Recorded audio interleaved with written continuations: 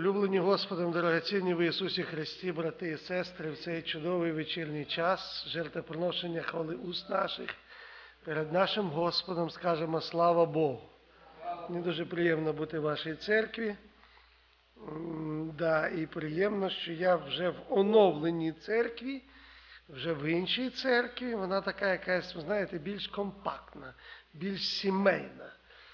І все, що Господь не робить в нашому житті, то все є на краще. На краще. Тому якщо Господь так веде е, церкву вашу, то напевно в ньому є, в, в цьому є сенс, і у Бога є план. Певний. Я брат Олександр Невинниця з Київської області, з України. Привіз вам віти- велике вітання від церков Київщини, з України, велике вітання і привіз вам велику подяку за те, що ви молитеся за Україну і молитеся за мир на нашій країні, тому що нам дуже, дуже потрібен цей мир. Брати сестри, дуже потрібен, бо ми зараз в Київській області ми дуже перетруджені, перенагружені сиротами. У нас дуже багато сирот.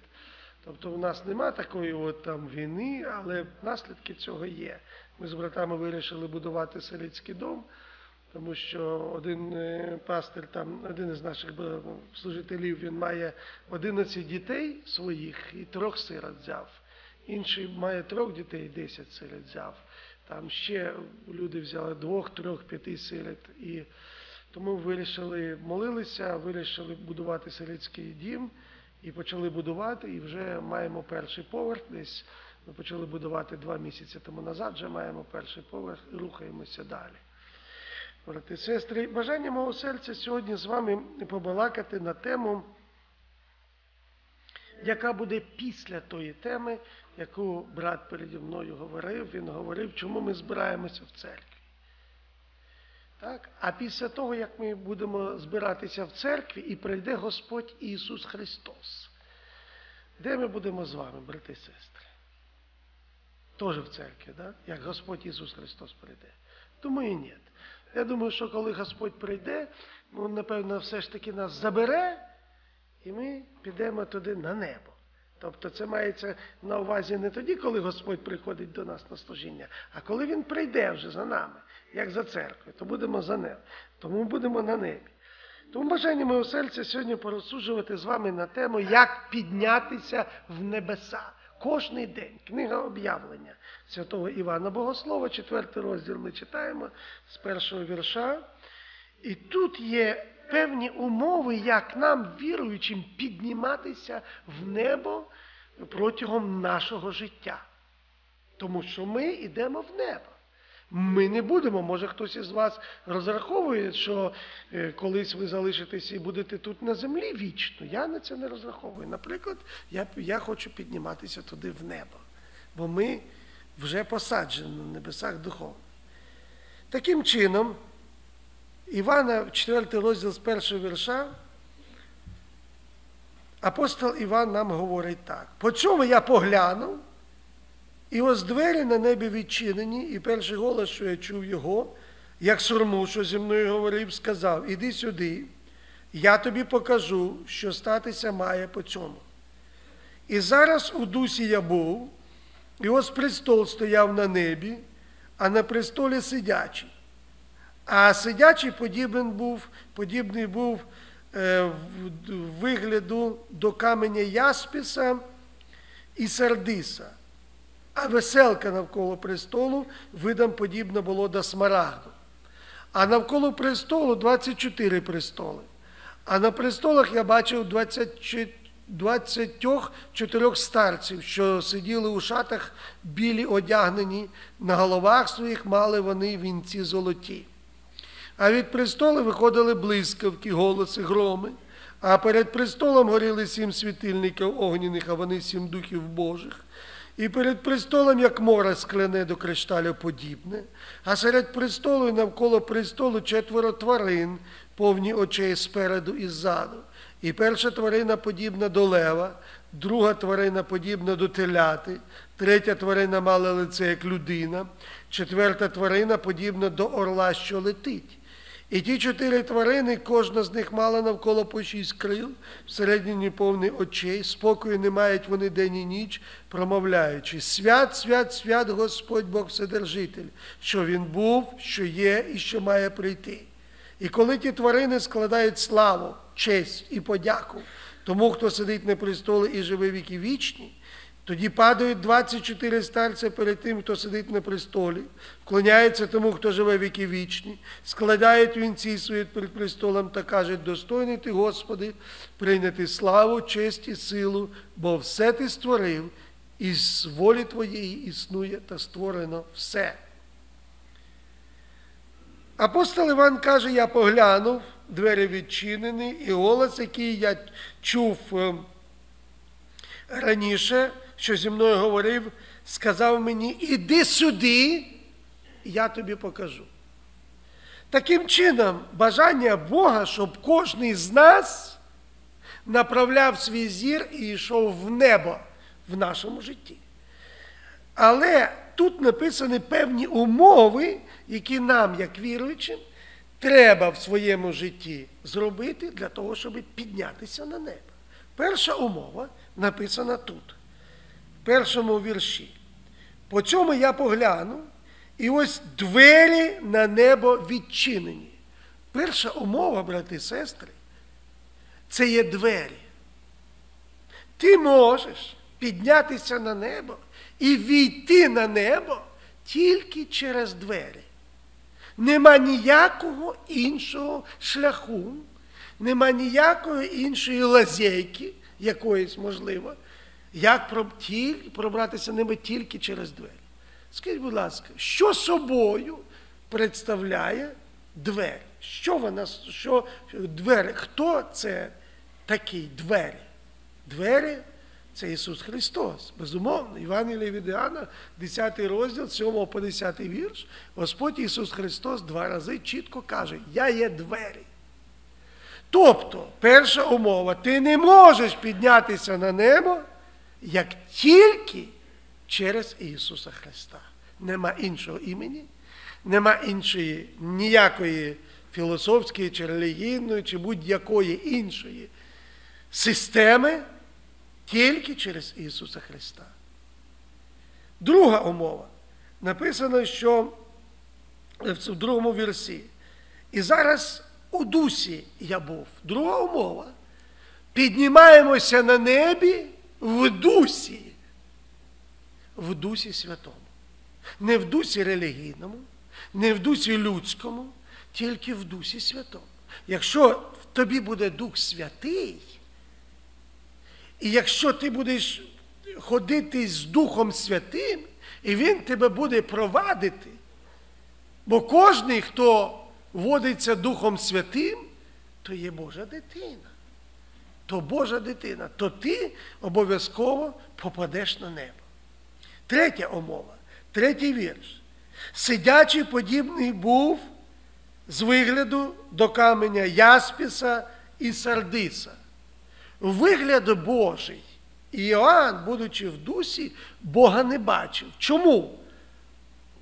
Тому що книга Вихід, 33 розділ, 20 вірш, Бог Отець каже Моїсею, що мого вигляду ти не можеш бачити, і ніхто не може бачити і лишитися живим. 1 Іоанна 1,18, тобто і від Івана 1,18 так само говорить, що Бога ніколи ніхто не бачив. Однонароджений е, син, який є в лоні Отця, він явив. Таким чином, Іван не бачить Бога, але бачить подобу Бога. І це дуже важливо, як себе Бог позиціонує, як Він нам себе показує. І тут написано, що сидячий Бог подібний був до каменя Яспіса і Сардіса. Камінь Яспіс або камінь Яшма, він має темно-зелений колір. І якщо хтось із вас був в океані, далеко, не близько біля берега, а далеко в океані, то він е, знає, що колір океана темно-зелений. Таким, а ми знаємо, що з океану вийшло все. Все життя, початок був з океана. Таким чином, Бог про себе говорить тут камінь ясна, яшма як початок, як альфа. Камінь сардіс або сердолік, він має колір вогню. А ми знаємо, що кінець всього того, що є, землі, все живе, буде в вогні. Тому е, сердолік то є омега. Бог говорить про себе як про початок і кінець. Тому третя умова. Твій початок повинен бути в Бозі. Початок в Бозі. Але і кінець твій повинен також бути в Бозі. Ти не можеш почати дуже гарно, а закінчити без Бога і вважати, що це тебе приведе туди на небо. Ні. В прошлому році мені розказали дуже прикру історію, яка сталася в Орігоні. Один служитель церкви, Великої церкви, батько 11 дітей, чи 12 дітей, 12, кажеться, дітей, покінчив життя самогубцем, служитель церкви служитель церкви, з дитинства віруючи, кінчив життя самогубством. Для мене це була катастрофа, брати і сестри, тому що початок з Богом, а кінець, кінець зовсім не з Богом. І тому нам треба як початок, і так і кінець, нам треба тримати собі, себе в Бозі. Четверта умова. Веселка навколо престолу, видом подібна була до смарагди. Веселка або радуга. Що собою представляє веселка? Що вона говорить, радуга? То є символ завіту. Таким чином, символ завіту радуга це четверта умова. Тобто ти повинен бути в завіті. В завіті з ким? З Господом Ісусом Христом. А хто є в завіті? Його церква є в завіті. Його церква. Тому четверта умова, ти повинен бути в церкві. Ти не можеш ніде бути поза церквою і вважати, що ти є спасений. Такого не буває. Без церкви нема спасіння, брати і сестри. Тільки церква то є основа твого життя і то є спасіння. Тому брат казав, а причина, чому ми ходимо сюди? Причина спілкування з Богом. Амінь. Це перша причина. Спілкування один з одним це амінь. Але ми ходимо сюди для того, щоб мати спасіння. Ми маємо спасіння, ми кожен день спасаємося, і ми йдемо до спасіння і будемо мати спасіння. Якщо ми виходимо з церкви, автоматично спасіння втрачається, тому що без церкви спасіння нема. Нема людей, які живуть поза межами церкви і мають спасіння. Такого не буває. Тому що то є тіло Ісуса Христа. І через кров, і через Його тіло мається спасіння. П'ята умова. Навколо престолу 24 престола. Четвертий вірш. На престолах я бачив 24 старців. 24 престола і 24 старця. Вони собою символізують 12 патріархів Старого заповіту і 12 апостолів Нового заповіту. Таким чином, п'ята умова це єдність старого і нового заповіту. Біблія то є єдина книга, книга, яка неподільна. Ми нічого не можемо зі старого заповіту вирвати і поставити над цією Біблією, чи навпаки, з нового заповіту щось вирвати і поставити над старим заповітом. Для нас є єдина і неподільна книга Біблія. Тому шануємо, читаємо Біблію, єдину книгу, не розділяючи старий новий заповіт, і це буде умова, п'ята умова входження нашого в небеса. Шоста умова. Я бачив 24 старців, що сиділи у шатах білі одягнені, на головах своїх мали вінці золоті. Е, Старці ці задягнені в білі одежі. Шоста умова це ми повинні мати білі одежі. Що таке біла одежа? Це одежа праведності і одежа чистоти. 1 Івана 5,18 чітко і ясно нам говорить, брати і сестри. ми знаємо, що кожний, хто народився від Бога, не грішить. І далі написано, бо хто народився від Бога, той себе береже і лукавий його не торкається. Як просто. Дорога душа, дорогий брат, дорога сестра, ти хочеш, щоб лукавий не торкався тебе? Не гріши. І все. Тут написано, лукавий не торкається. Ходи в святості, ходи в праведності, ходи в чистоті. Кажи греху ні. Кажи компромісу з цим світом ні. І тоді проблем не буде. А якщо все ж таки, брати і сестри, лукавий торкається, якщо він торкається здоров'я, торкається фінансів, якщо він торкається наших, е, наших бізнесів, якщо торкається твоєї сім'ї, то значить щось не так треба моментально поправити, щоб воно було так і щоб тобі бути крепким. І також шоста умова це на головах своїх вони мали вінці золоті. Вінці то є символ перемоги. Тому друга частина шостої умови то є перемога. Перемога. Над чим ми віруючи перемагаємо? Перше, ми перемагаємо, брати і сестри, над собою, над своєю плоттю зі страстями і похотями. І друге, над чим ми перемагаємо? Ми перемагаємо над дияволом і над демонічними силами, і над силами темрями, бо Христос сказав, я даю вам владу. Не просто перемагати, а наступати на цю е, силу ворожу, на змії скорпіонів і на всю силу ворожу. І ніщо не зашкодить вам. Бог дав нам владу для того, щоб ми панували над собою. Моя плоть вимагає свого, брати сестри. І ваша плоть вимагає свого. Вона духу противиться, їй треба, їй треба постійно щось. Але ми можемо тримати себе в руках, брати і сестри. І я дякую Господу Богу за кожного з вас. Коли ми перемагаємо, коли ми кажемо гріху ні, і він відходить від нас гріх, і ми йдемо далі. Тому перемога. Від престолу виходили блискавки, голоси громи, перед престолом голили сім світильників огних, вони сім духів Божих, то все є влада і сила, яку Бог дав церкві, тому що сім світильників вогняних, сім духів Божих, то їх церква. В першому, в першому розділі і об'явлення про це говориться.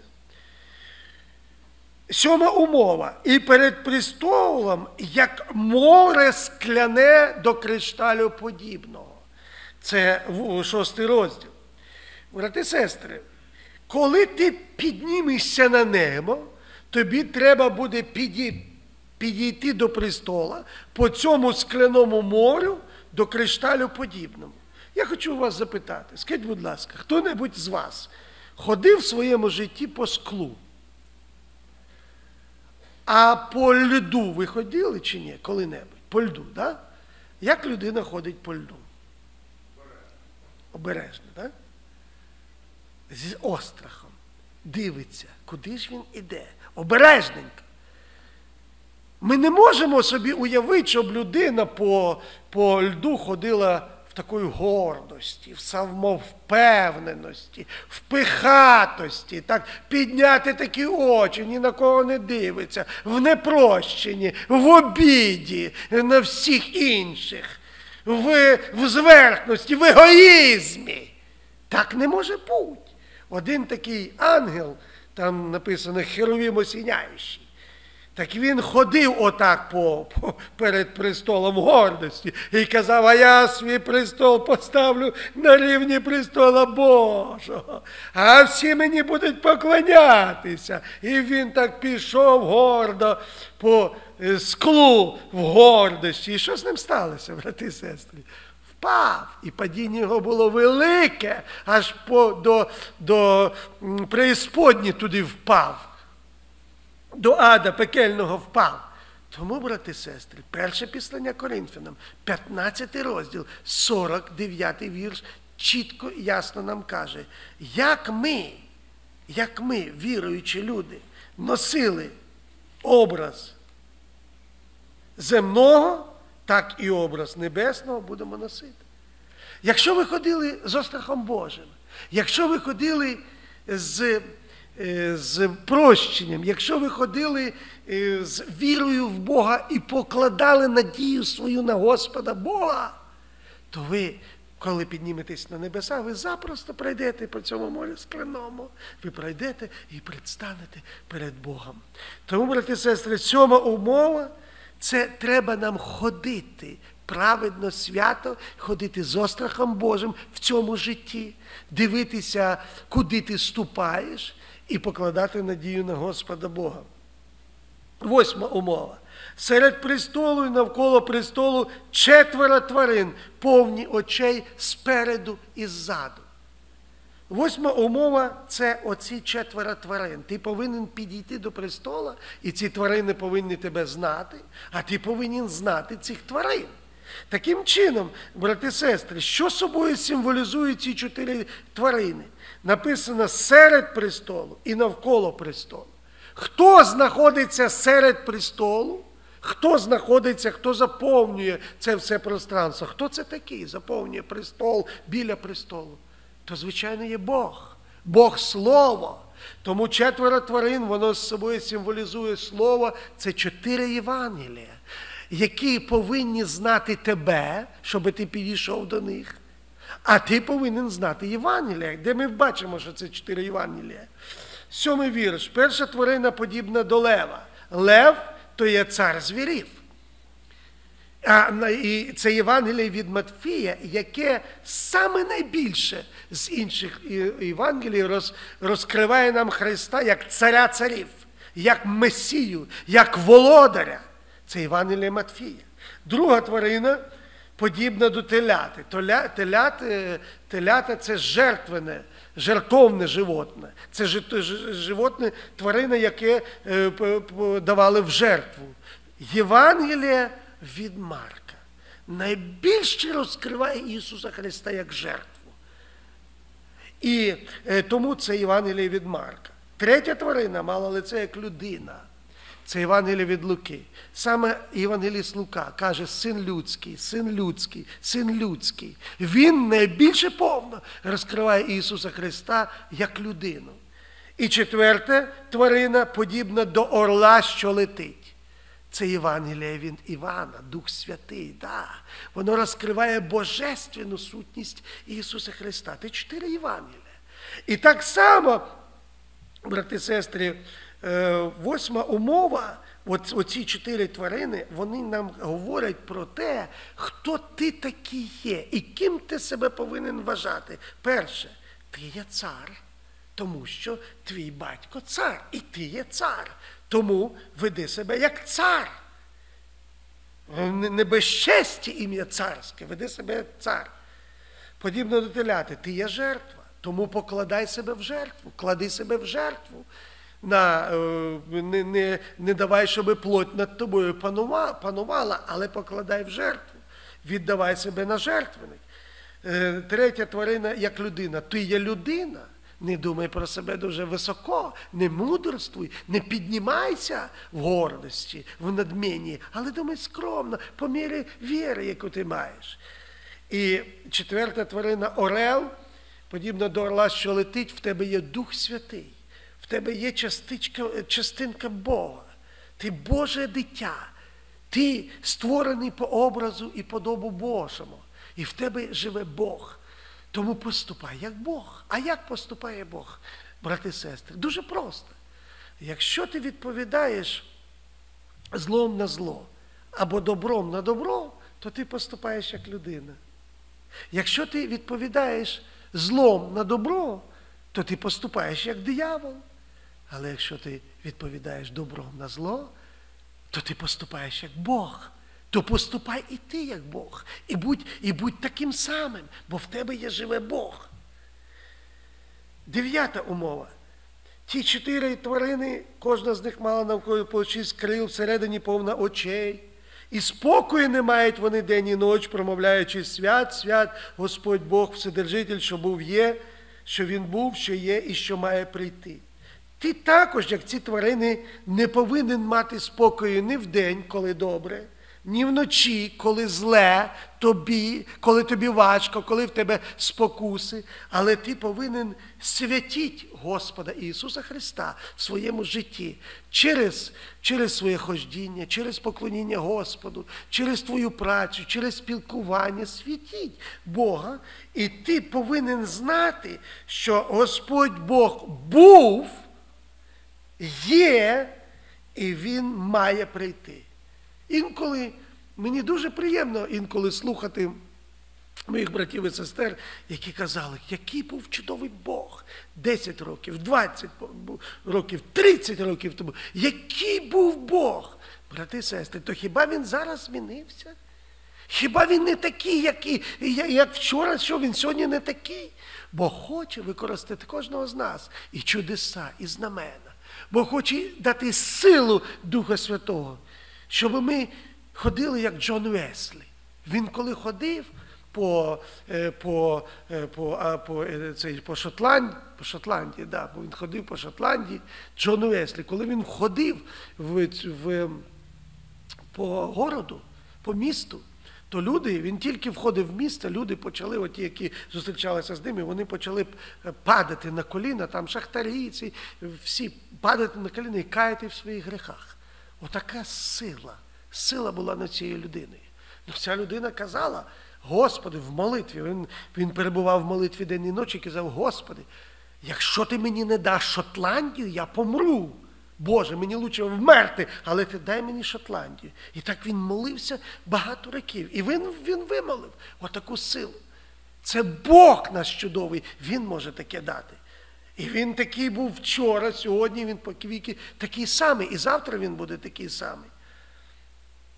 Тому ревнуємо о святості, вдень і вночі святимо Бога і, і віримо в те, що Він прийде за нами. І коли ті тварини складають славу, честь і подяку, десята умова, ти повинен в, своєму житті віддавати Богу славу, складати славу, тобто прославляти Його святе ім'я. Ти повинен йому віддавати честь, бути людиною честі, і ти повинен дякувати, дякувати Богу за все, що в тебе є. За все. І тоді ти будеш мати таку повноту. Я пам'ятаю, брати сестри, е, як одна, а, а да, і тут і тут же ж десята, десята оця ж умова, і тоді падають 24 старці перед тим, хто сидить на престолі. Ти повинен падати в своєму житті тільки перед Богом. Не перед обставинами, не перед хворобами, не перед труднощами, а тільки перед Богом падати. І і вклоняються тому, і складають і складають вінці свої. І ти повинен кланятися тільки Богу. Нічому іншому ми не повинні кланятися ні ні, ні долару кланятися, ні обставинам кланятися, ні людям кланятися, не повинні, тільки Богу кланятися. І складають вінці свої, тобто вони розуміють, що вони нічого свого не мають. А все те, що вони мають, те це все від Бога. Оце розуміння, це також є остання умова, щоб нам піднятися в небеса. І от тут написано, що подяку складати прославляти Його і мати честь в собі. Я пам'ятаю такий випадок, який стався в одній з наших церков, нам на молитовну ячейку. Одна сестричка, ми зібралися там, одна сестричка каже, пастор, я сьогодні привела свою куму ну, на на молотовну ячейку. Я говорю, ну, хорошо, добре. Невіруюча, зайшла така е, дівушка, ну там, може, під 30 років їй було. І ми там співали, розсуджували, і говорили про Євангеліє, про Бога. Господь торкнувся її серце, і вона в кінці служіння підходить до мене і каже, пастор, можна мені покаятися і прийняти Ісуса Христа в своє серце? Я кажу, ну, звісно, звичайно, можна. Це дуже хорошо ви зробили. Вона, Ми всі приклоніли коліни, вона почала плакатись, каятися, сповідуватись, почали молитися, небеса розкрилися, така благодать.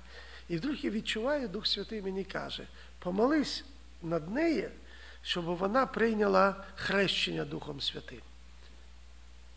Я кажу, Господи, так вона ж тільки що прийшла в церкву, вона ж не знає, що таке хрещення Духом Святим.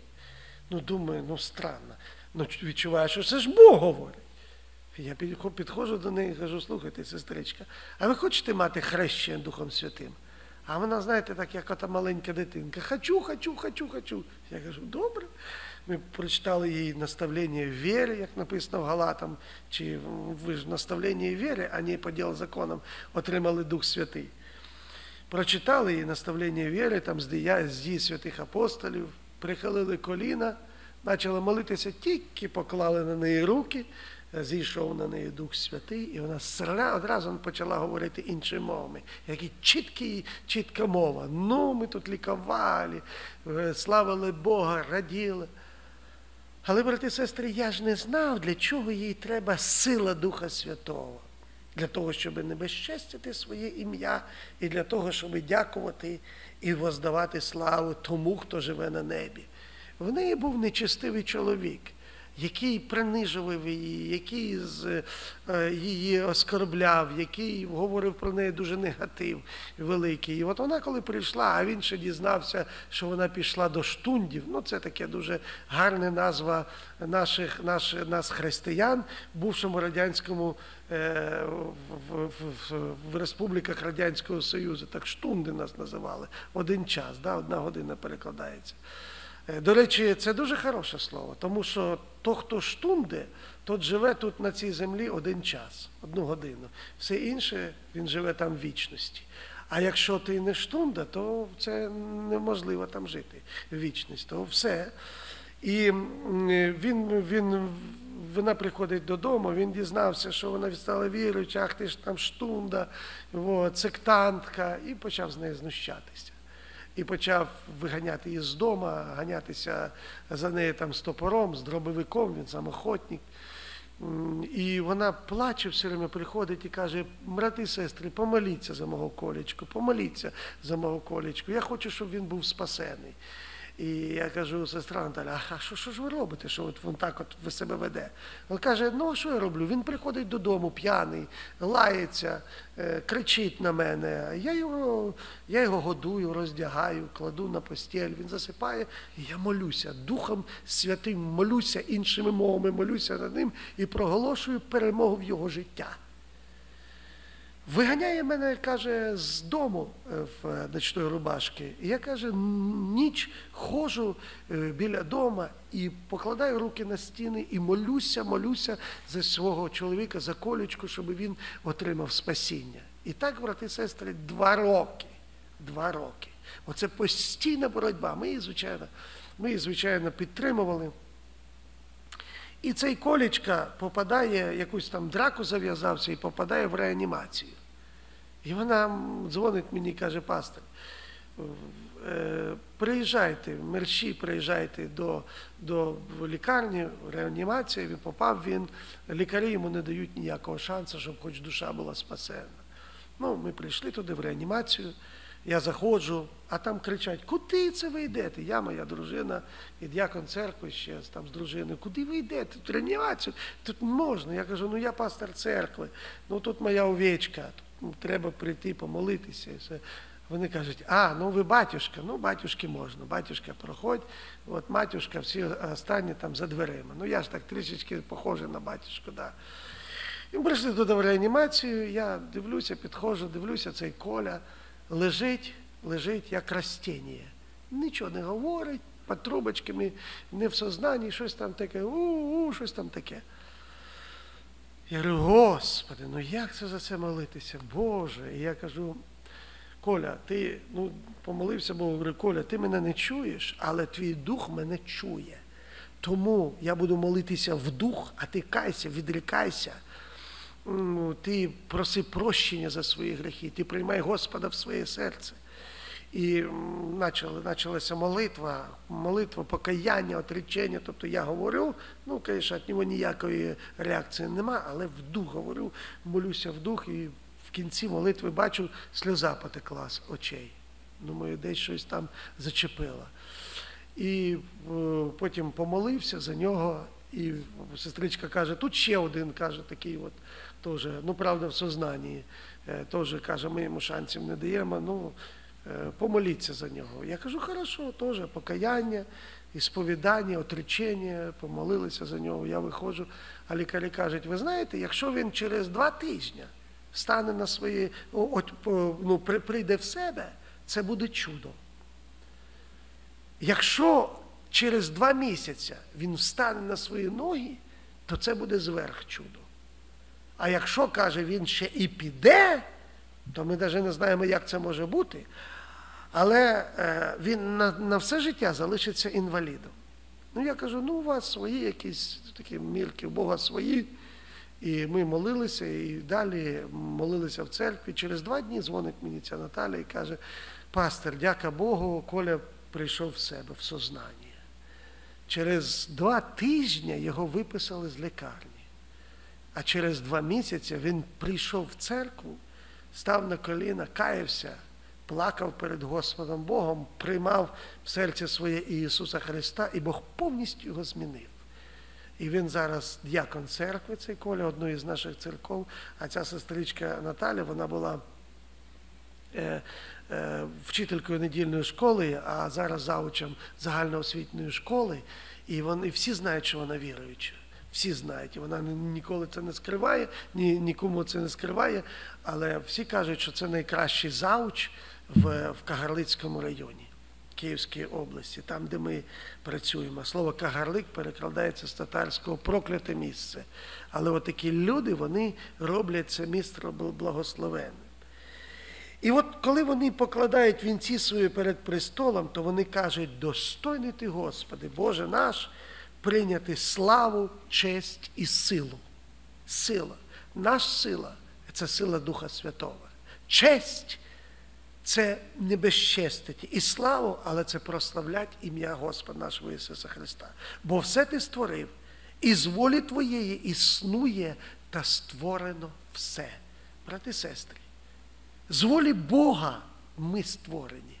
З волі Бога ми сьогодні прийшли на служіння. З волі Бога ми підемо на служіння. І завтра ми встанемо, якщо встанемо, то є з волі Бога. І підемо на роботу чи по своїм якось е, справам, тому що Бог наблюдає за все.